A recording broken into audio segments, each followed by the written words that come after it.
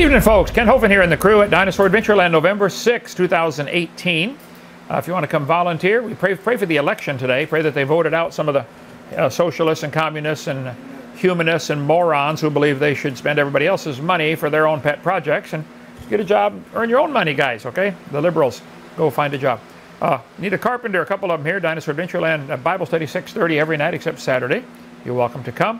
Still need a trencher. You got all the trenching done, though, right, that we need now long term, we need one of these. If you want to make some concrete or fiberglass dinosaurs, we need a bunch of those around here.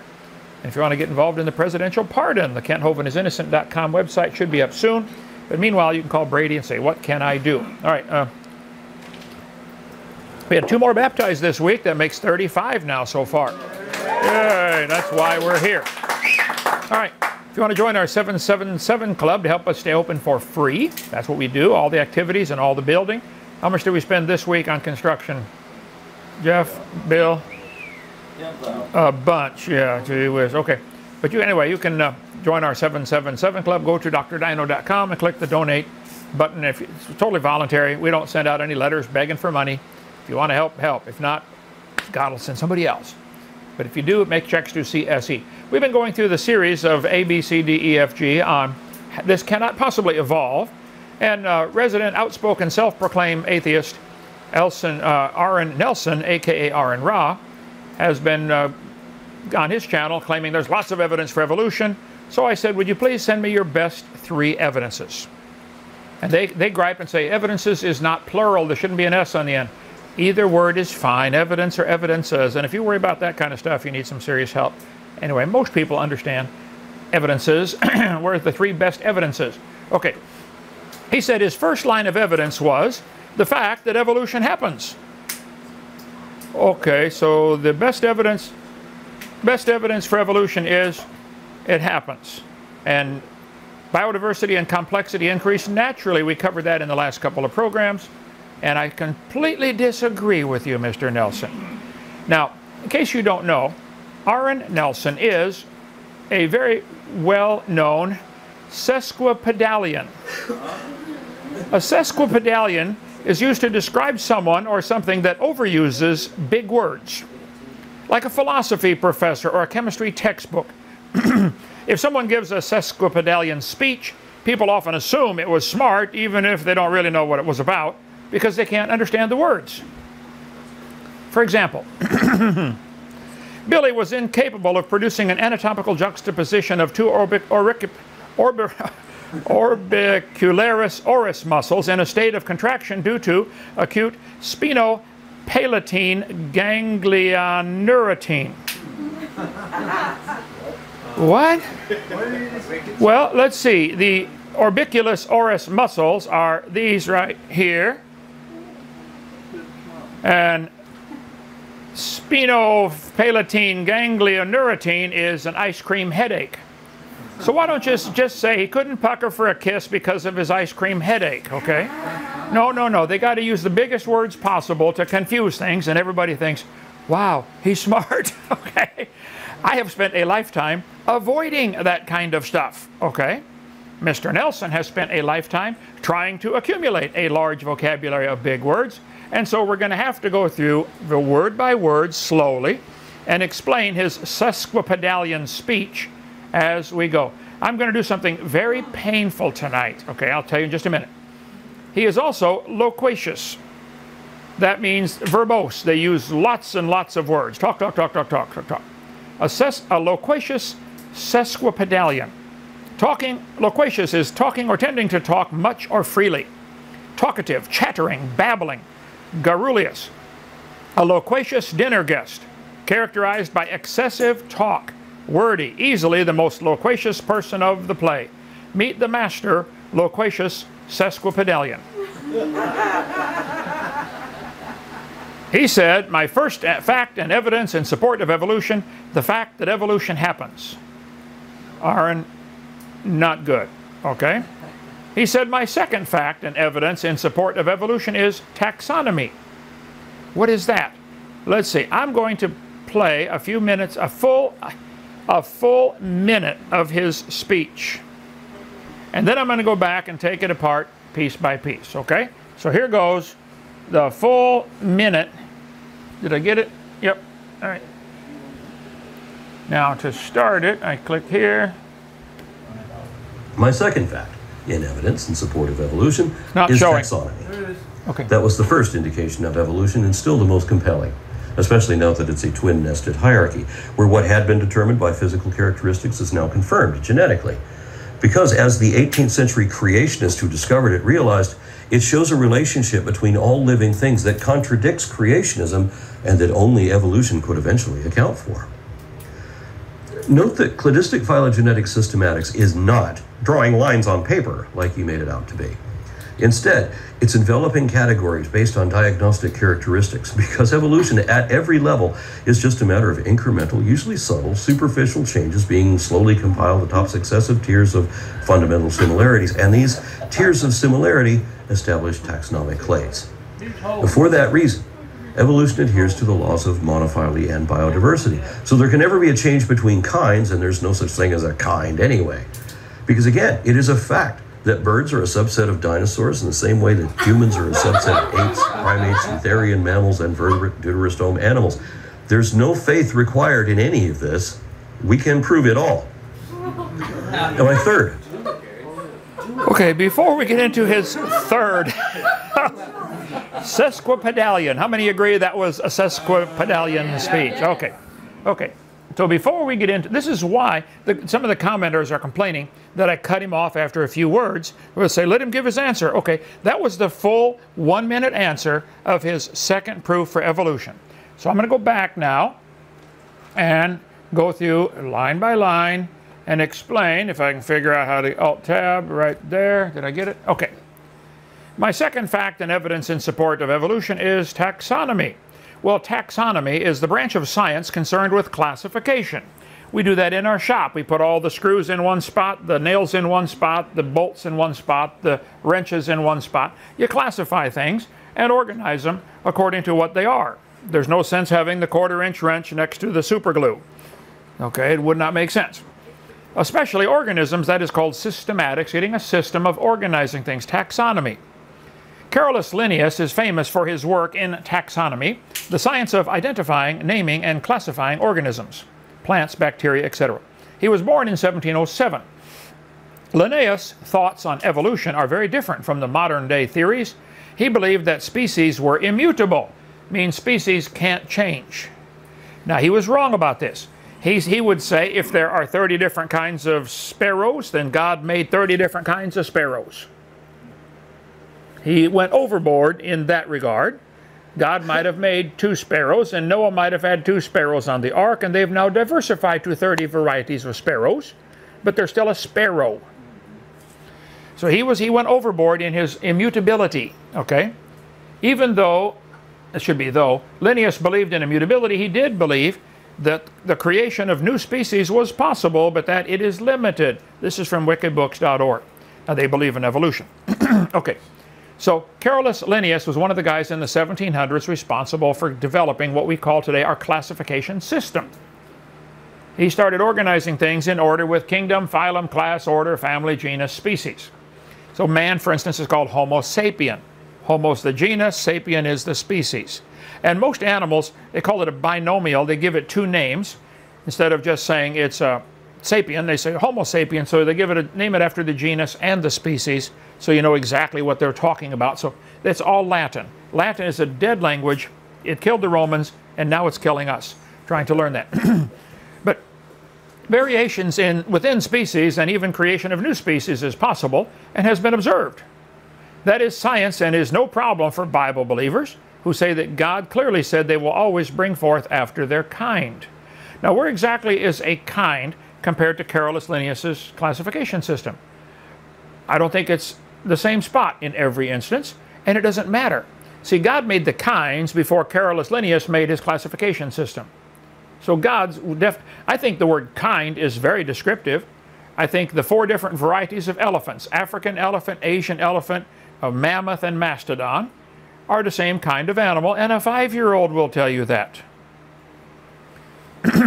Probably so, the kind indicates somewhere around the family or genus level. Everything above that is speculation. If you want to believe this proves this, you're crazy, in my humble, totally unbiased opinion. So Mr. Nelson said, my second fact and support and evidence in support of evolution is taxonomy. That was the first evidence of evolution and is still the most compelling. Whoa. the fact that we can organize animals by their certain characteristics is proof for evolution?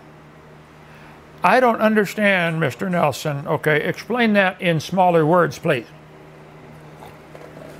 So, yeah, it's off screen. Especially now that it is a twin nested hierarchy. That's what he just said. And for you folks that get upset that I cut him off word by word, go back to his speech 2112 to 2223, a minute and 11 seconds. How many? That was rather painful listening to that minute and 11 seconds. Okay. Loquacious sesquipedalian. Okay. He said what had been determined by physical characteristics, in other words, they were classifying them by how they looked or physical characteristics. Could they fly? Did they crawl? You know, whatever. Did they have hair? Is now confirmed genetically. You're dreaming on both counts, Mr. Nelson. He said because, as the 18th century creationists who discovered it, they discovered you can classify animals. Like people didn't know that before. okay.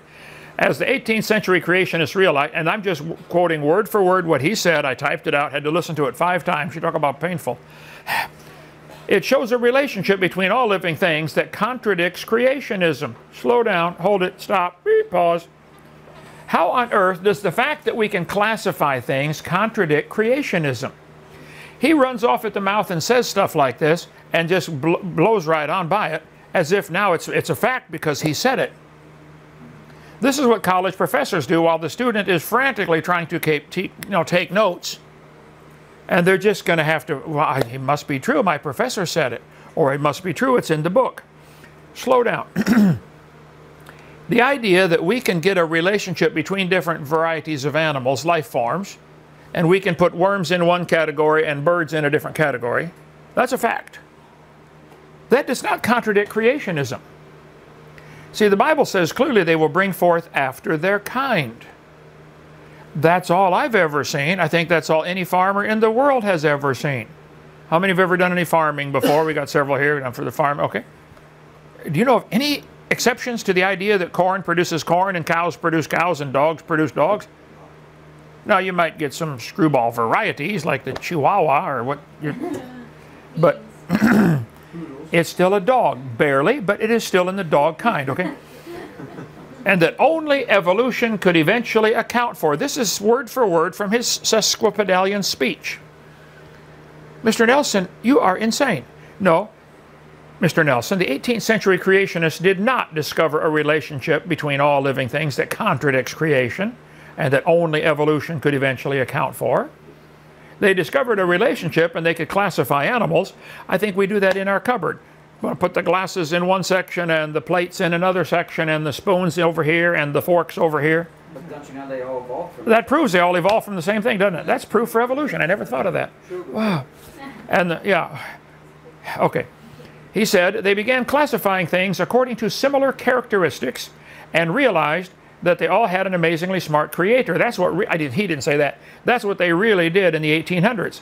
As they classified them, they said, "Wow, God, you are amazing. You did make them to bring forth after their kind, didn't you?" And that's all we've ever seen. Now, what happened?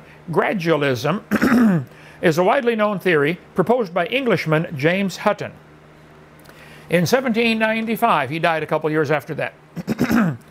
that evolution and change occurred due to small changes over a period of time. This was also the time of a guy named Jean-Baptiste Lamarck, called Lamarckism. Lamarck, a French biologist, proposed, and it's right here from Wikibooks or whatever this is, Wiki, eh, Wiki University. the French biologist proposed theories of adaptation before Charles Darwin published his theories on evolution. His two theories were use and disuse, and inheritance of acquired traits. We know both of these are not true. In other words, use and disuse. If a bodybuilder works out really hard and builds up huge muscles, like me, uh, is that going to be passed on to his children? No, that kid's also has to work out and build up his own muscles, right? You, things that you gain by use or disuse, if you stopped using your left arm altogether, just decide, I'm not ever going to use it again. Eventually, the muscles would atrophy, it would get weak, and would hang there. Does that mean, will that affect your children? No, because that's genetic. So Lamarck's idea of use and disuse is crazy. It's not true. He said the giraffe got long necks because it kept stretching for the trees. That was Lamarck who thought that up. No, Jean-Baptiste Lamarck. The giraffe has a long neck, not so he can reach the trees, it's so he can reach the ground to get a drink. Have you seen how long his front legs are?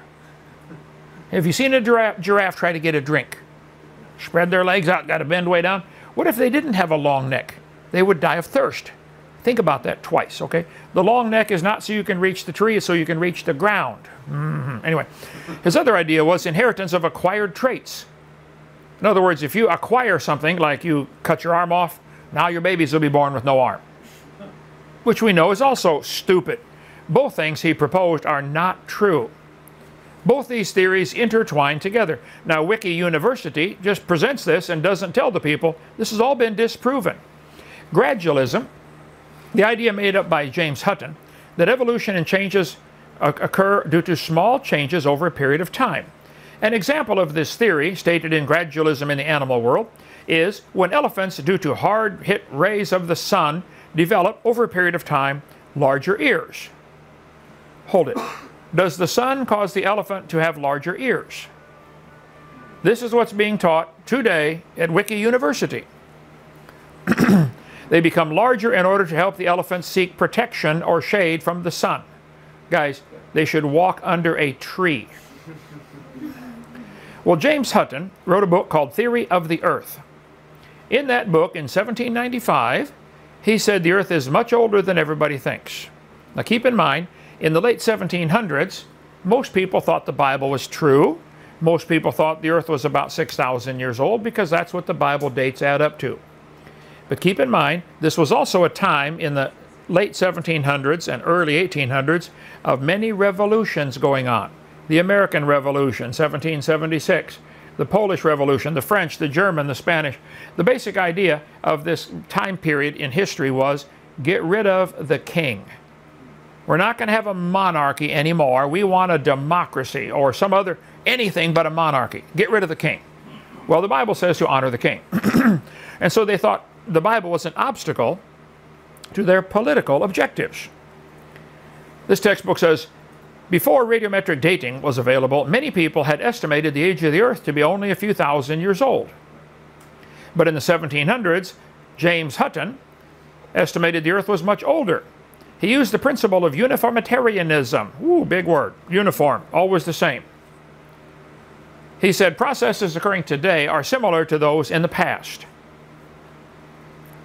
Uniformitarianism. The present is the key to the past, is what that word means. No, I'm sorry. Uh, the Bible is the only perfect key to the past.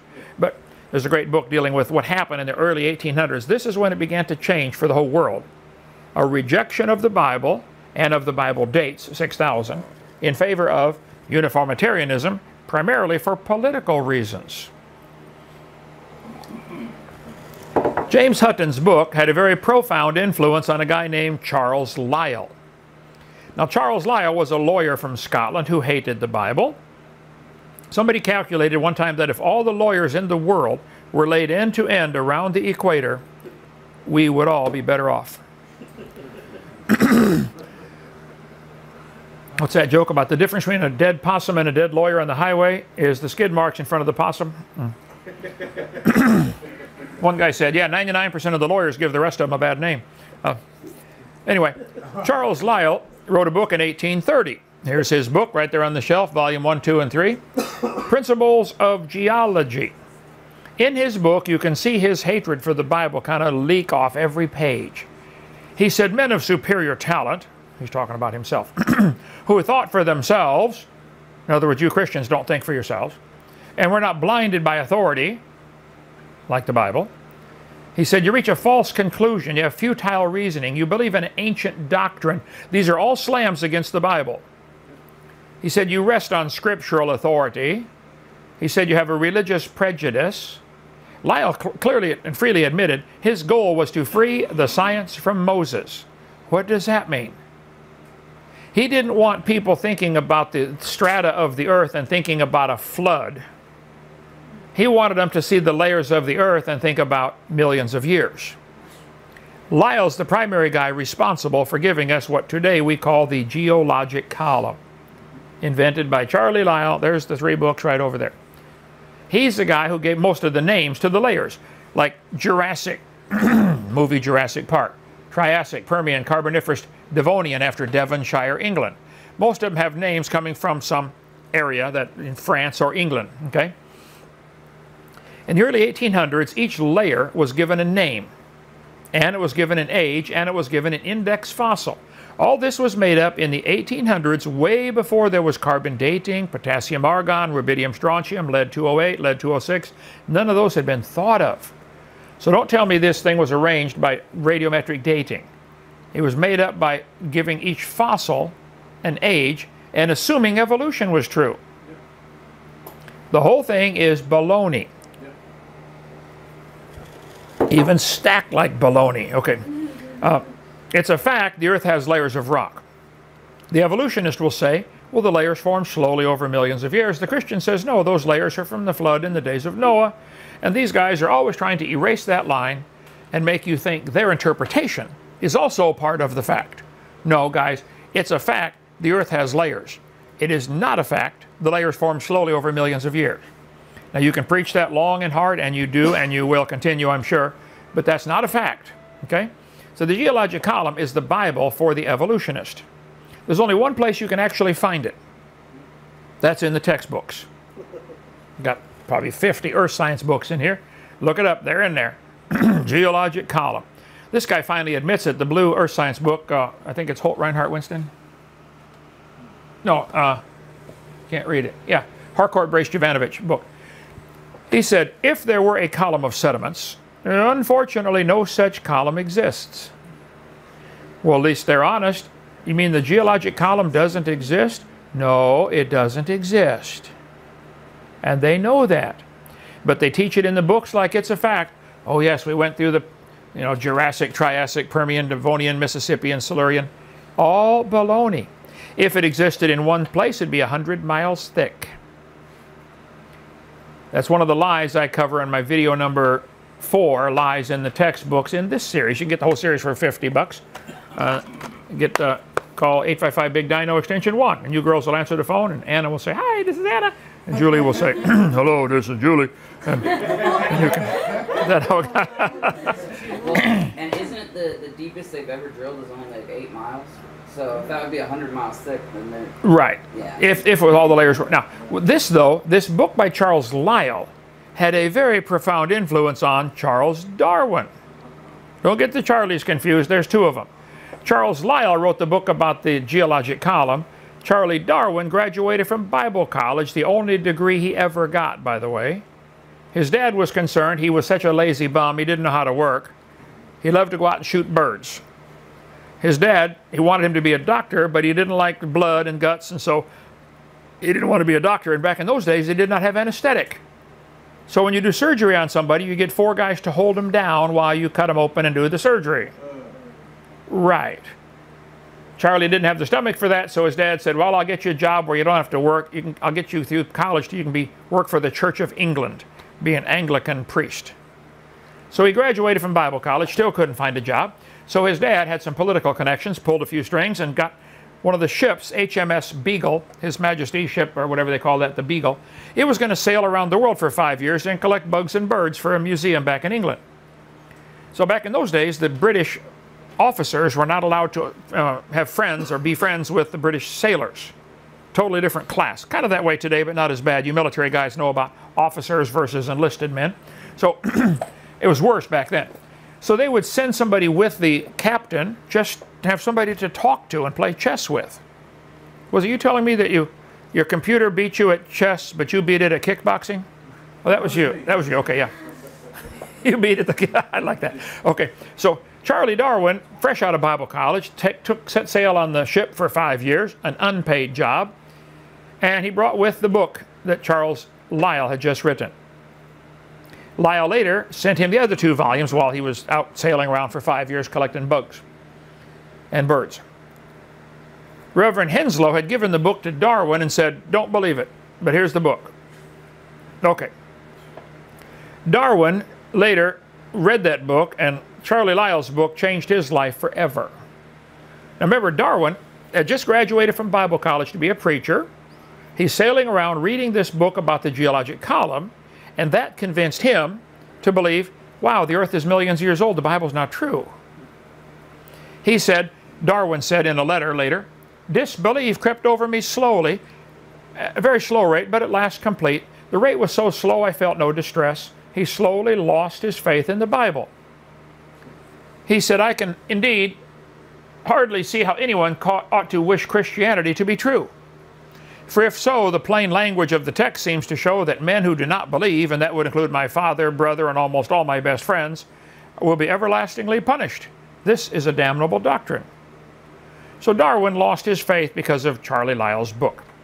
Darwin tried to dedicate his book to his second edition to Charles Lyell. Dedicated to Charles Lyell from a sincere admirer. Uh, Charlie Darwin. So as Darwin sailed around the, uh, the, on this boat for five years, they stopped off on these islands right here called the Galapagos Islands.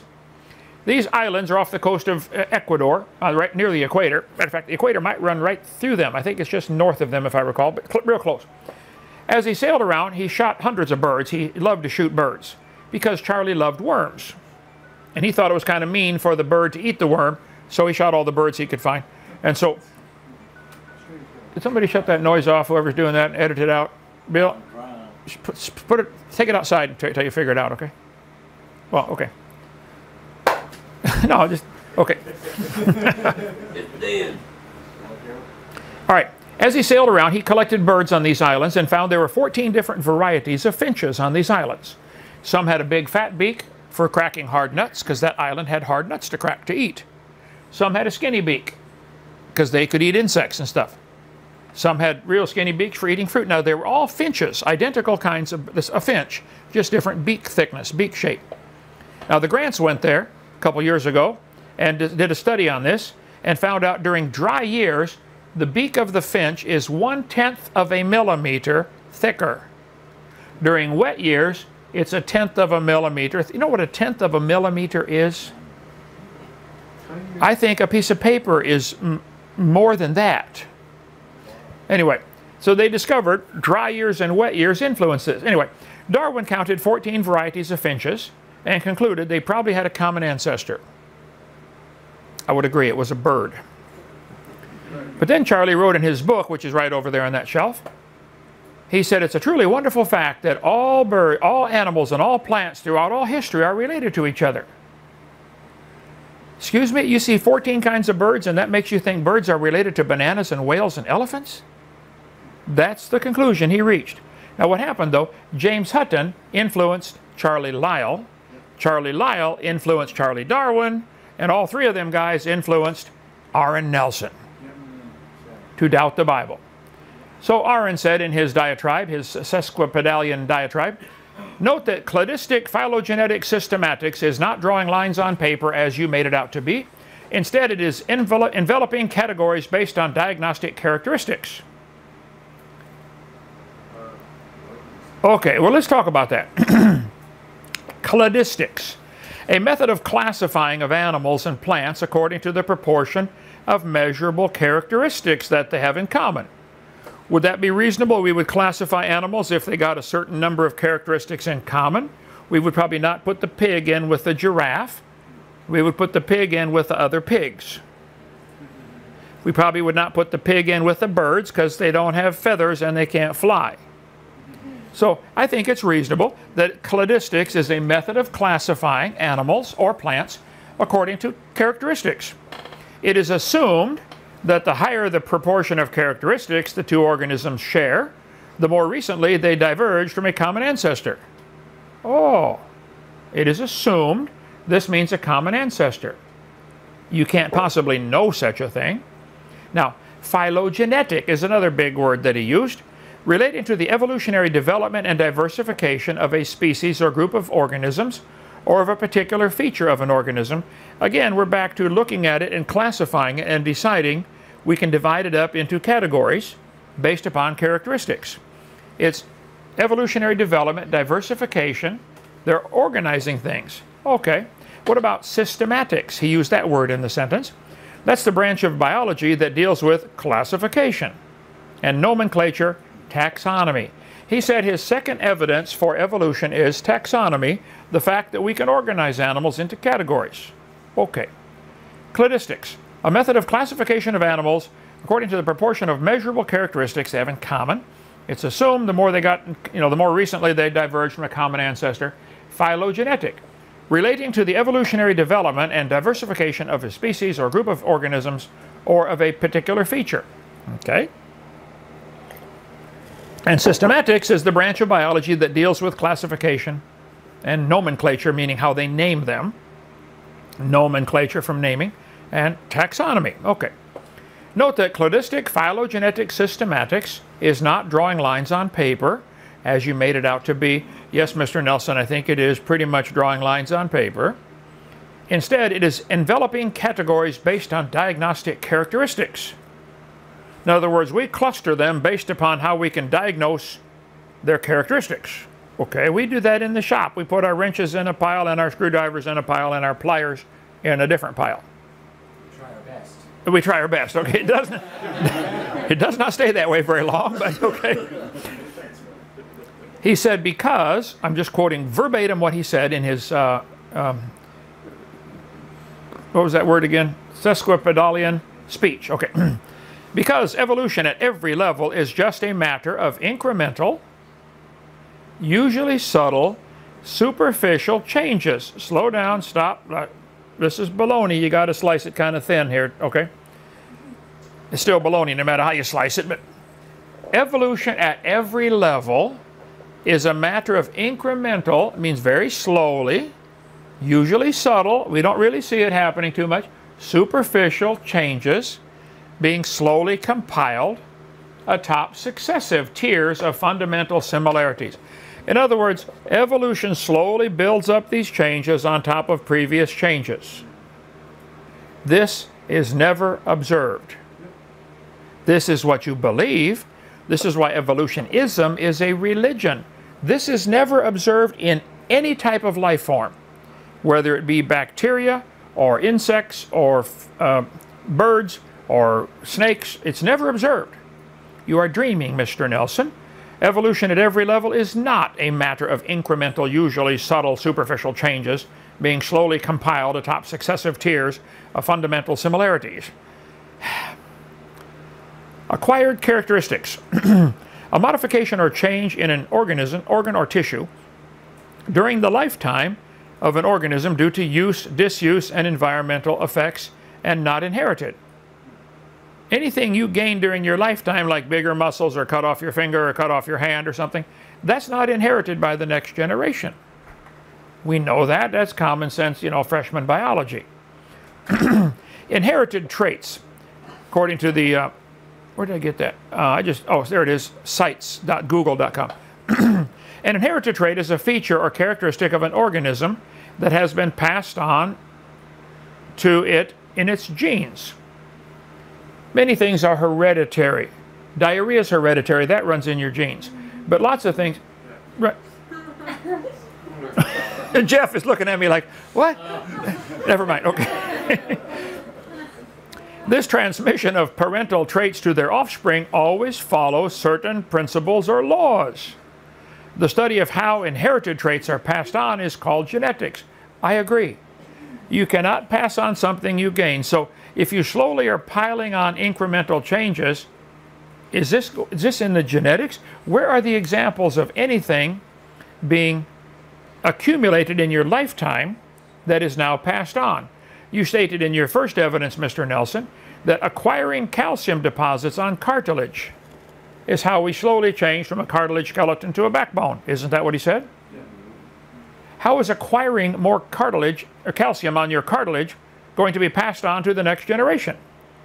If you get calcium deposits, I don't think that would get passed on, would it? Has to be in the genetics. I don't think acquiring a calcium deposit is going to be genetic.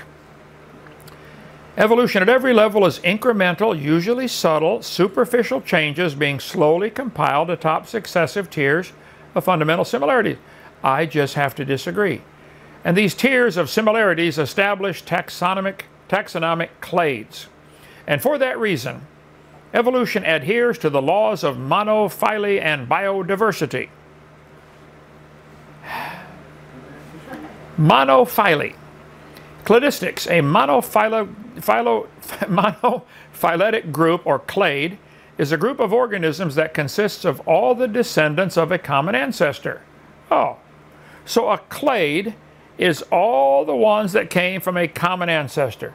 I would be willing to say probably all the dogs came from a dog. So the dogs would be a clade by this definition. Why don't you use the word kind? It's probably very similar here. They don't like the word kind. Uh, they don't like that kind. He says no such thing as a kind anyway. I think there is. I think we are called mankind, if I recall. Are we? okay. My font is a little too big here. Phylogenetic uh, groups are typically characterized by shared derived characteristics, which distinguish organisms in the clade from other organisms. Oh, so you can tell the bacteria is different than the whale. I thought in the last discussion, uh, whatever you called it, debate, uh, you said the pine tree and the whale were related because they're both eukaryotes. Well, if you can't tell the difference between a pine tree and a whale, come, come see me. I'll help you, okay? I'll, I can show you pine trees right out here. Go knock on them. Biodiversity. Oh, bio meaning life, diverse, you know, different. The variety of life in the world or in a particular habitat or ecosystem. There's quite a biodiversity here on Dinosaur Adventureland property. We've got a bunch of different kinds of trees, a bunch of different kinds of bugs, birds, deer. We've got a lot of animals live here. Okay. So there can never be a change between kinds, and there's no such thing as a kind anyway. Mr. Nelson, if there can never be a change between kinds, how can you say a pine tree and a whale are related? Aren't the, would you admit would you admit that they are in a different clade? Are the pine trees in a do the pine trees have the same ancestor as the whales? You would say yes if you go back far enough, wouldn't you? You go back far enough, pine trees and whales are related because they're both eukaryotes. But you said there can never be a change between kinds. Can there be a change between clades? I know you'd rather use that word. And then you said, it is a fact that birds are a subset of dinosaurs.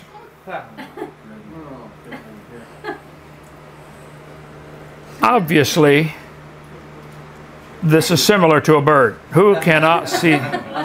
Who can't see the difference?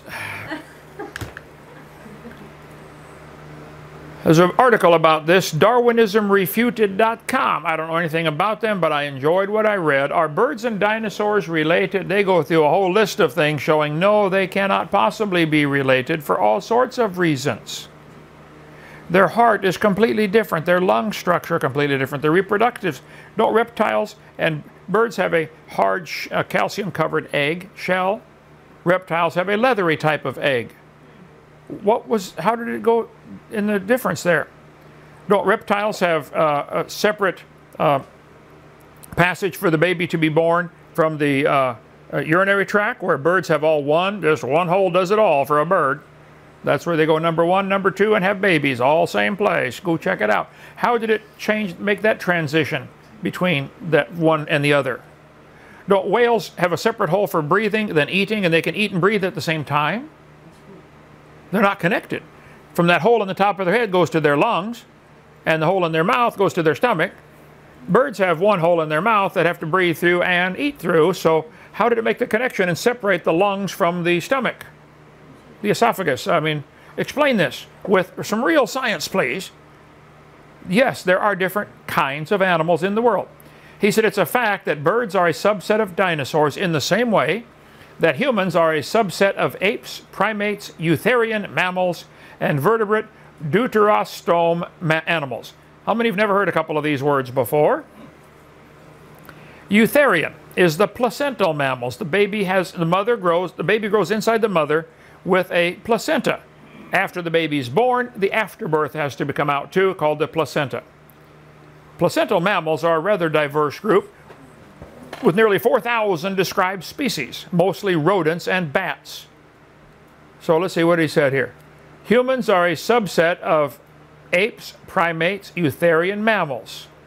So we are a subset of the same group as the bats and the rats. Maybe he is. Well, maybe he is. Now you got a point there, okay? The placental mammals include diverse forms as whales, elephants, shrews, and armadillos. Obviously, whales and shrews are related. Here we have marsupial mammals versus eutherian mammals. These have a pouch that the baby grows up in. The baby's born just barely developed, like kangaroo babies, possum babies, they're litty bitty. They have to crawl up into the pouch. Who taught them that? They're blind, you know. Soon as they're born, they hang onto the fur and they crawl up into the pouch and latch onto a nipple. For millions of years, none of them could find the pouch. They all died for millions of years. So finally, one of them left a sign up this way to the pouch. And the, the sign had to be in Braille, of course, because they're blind, you know, their eyes aren't open yet. Okay. Deuterostromia. Stomia. That's a Greek word which means a second mouth. Deutero means second. Like the second time Moses gave the law is in the book of Deuteronomy. Deutero means twin or second time. Okay. He gave the law first time in Exodus. 40 years later, all them people were dead. Their kids had grown up, so he gave the law again. You can see Deuteronomy has a lot of repeats of Exodus. Who cares? Okay. this includes the phyla of the echinoderms, starfish, sea urchins, chordata, those that have a backbone, and a couple other ones here. Deuterostoma, stomia. Now, he will make fun of me for not being able to pronounce these words because I have made a lifetime habit of avoiding this stuff to make it simple for people to. I want people to understand, not to sit back and marvel. Whoa, he knew a big word. That's not my goal. Okay, my goal is to make it simple. Okay. Okay. They're classified together on the basis of embryological development. Oh, now slow down just a minute. You're going to put animals in a group depending on how they develop inside the mother. This was proven wrong like in 1874. I couldn't believe this website is still using the embryology pictures proven wrong in 1874. You might want to get my series, Lies in the Textbooks, get the video or the DVD, or the, it's also included in this package for 50 bucks, Lies in the Textbooks. When's the whole new series going to be available, guys? Lies in the textbook, 75 lies? Is that, it's on the list? You're going to skip sleeping for four days and get it done. That's what I have to do, brother. Okay. You're going to classify them based on how they develop in the embryological stage. He said it's a fact birds are a subset of dinosaurs. Mr. Nelson, you need some help. Birds are not related to dinosaurs. Who started this dumb idea? There is no faith required in any of this. We can prove it all. Okay. I would like you to do that, please. Prove to me that birds are related to dinosaurs. Now keep in mind, no fossils will count because you can't prove the bones you found in the dirt had any kids. You certainly can't prove they had kids that lived, and you certainly can't prove they had kids that lived that were different, and you can't prove they had kids that lived that were different that were able to produce more babies. I mean, sometimes diverse animals cross, like a lion and a tiger, and they get a liger, and the baby's sterile. The dead end, can't go any further. So you're going to find a bone in the dirt and tell me that's proof that it not only lived and had babies that lived, and had babies that were different from itself, and had babies that were able to reproduce. I think you got four gigantic hurdles here to overcome. No, I think you're completely wrong, Mr. Nelson. There is incredible faith to believe all of this stuff you're spewing. So his second line of evidence for evolution is taxonomy. We can classify the animals. And that proves evolution. Think about that just for a minute. My third line of evidence supporting evolution is that we don't have a mechanism that we know actually works under direct observation and manipulation if we want to, And we don't just have a phylogeny that we can verify with philosophy, we have a theory. His third line of evidence is they have a theory. We'll talk about that tomorrow night. Thank you for joining us, folks. This is a lot of fun. Uh, I don't think that if that's your best three evidences. What game is that where three strikes and you're out? Facebook. Yeah, okay. See you tomorrow night. Press thumbs up, like us, goodbye. Uh, you know, subscribe, uh, Share. share, ring the bell, come visit, bring a hammer. Don't even bring a hammer. We got plenty of hammers. Did you find all the hammers, Bill? We got them all. We got enough hammers? Oh, You don't need. They don't need to bring a hammer. They don't need to bring a hammer. Left. right. We're out of left-handed hammers. Okay, bring a left-handed hammer if you got one. Thank you so much. See you tomorrow. Okay, bye.